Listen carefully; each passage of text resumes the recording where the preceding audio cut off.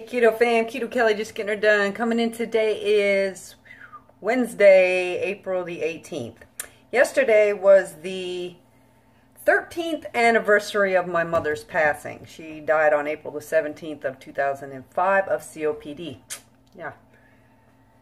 Uh, on the stove right now, I have some olive oil heating up. I have three pieces of cod that I have breaded with half a cup of coconut flour, about a fourth of a cup of the nutritional yeast. I put a couple of um, little sprinkles of the of some poultry seasoning in there. Uh, salt. I don't think I put pepper, and I put a little bit of Old Bay. And I went ahead and breaded them and put them in the fridge to cool them down a little bit. I think I'm only going to do one today uh, and possibly freeze the other two for later use. What I did today, I'll go ahead and post a picture right now. Here is the fathead dough keto bagel type thing. I went ahead and, as you can see, I put some aluminum foil around the edges. Make sure you spray the aluminum foil. Hmm. And um, put it around them and to create so they wouldn't flatten out. Now, if you have a mold, you know, use your mold. This is what they ended up being. Look how much higher these are. The inside, very nice. They're very dense.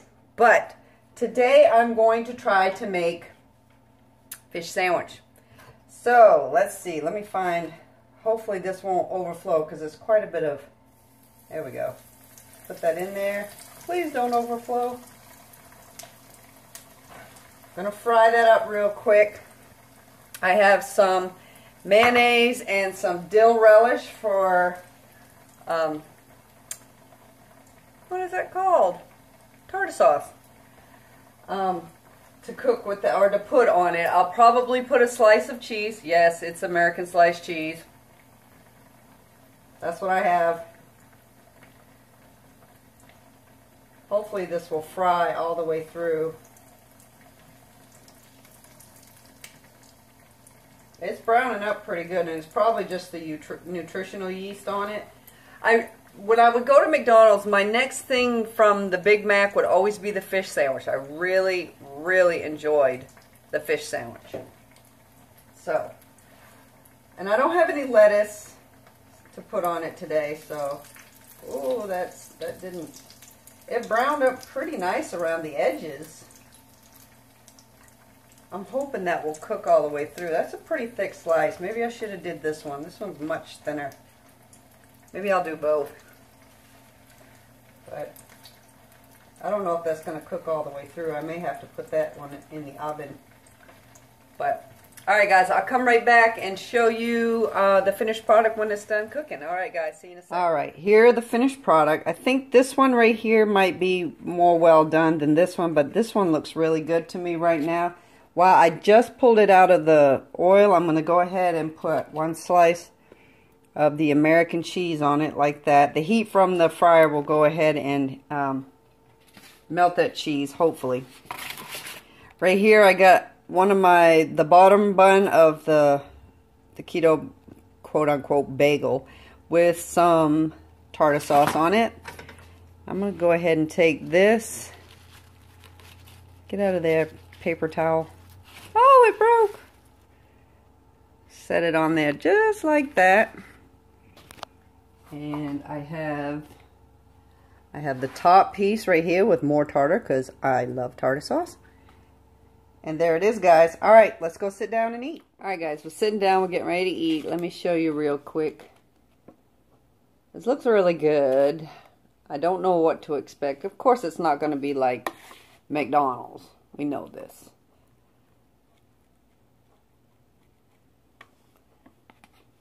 Oh, look, a piece broke off. Let me try the piece real quick. Look at that. My dog is like, wow. Are you going to eat it?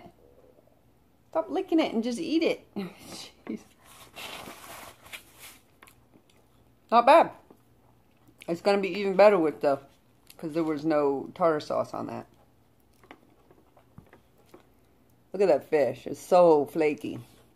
All right, here we go.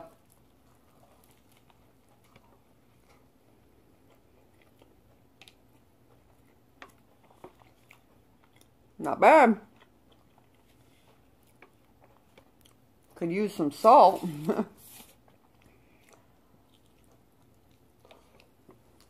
Did you eat it? Hmm? You want a piece of bread? Look at this dough, guys. Where's the camera?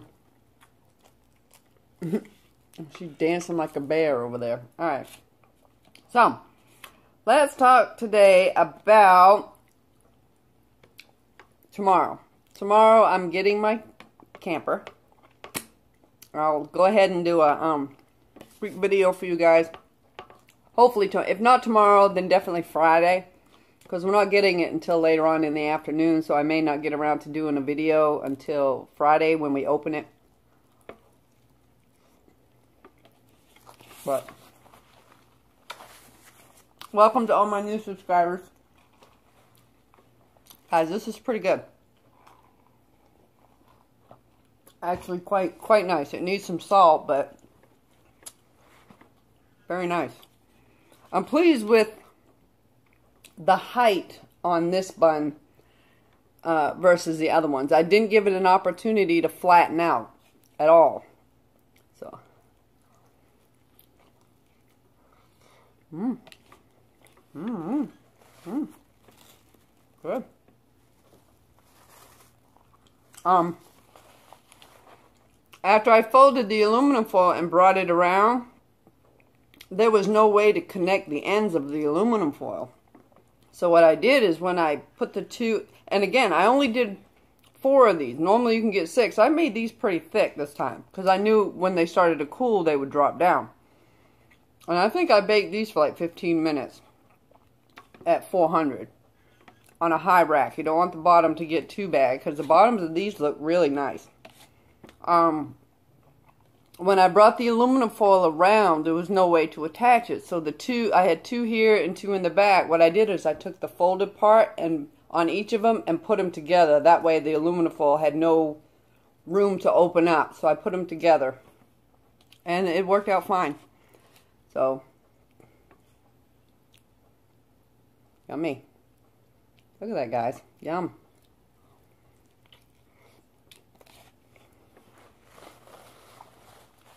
Keto is easy, guys. It really is. If you're looking for extravagant stuff on a channel, a keto channel, this isn't the channel. I try to keep keto as simple as possible. She's sitting like a gopher. yeah.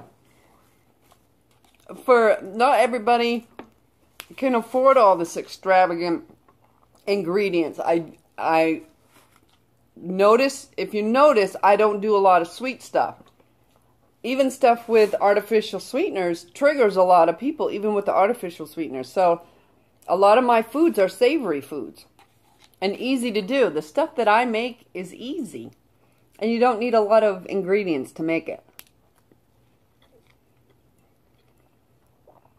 This is good. This is really good. Really good. I'm glad I did this. I mean, I liked it with the shrimp, so I knew I would like it with this.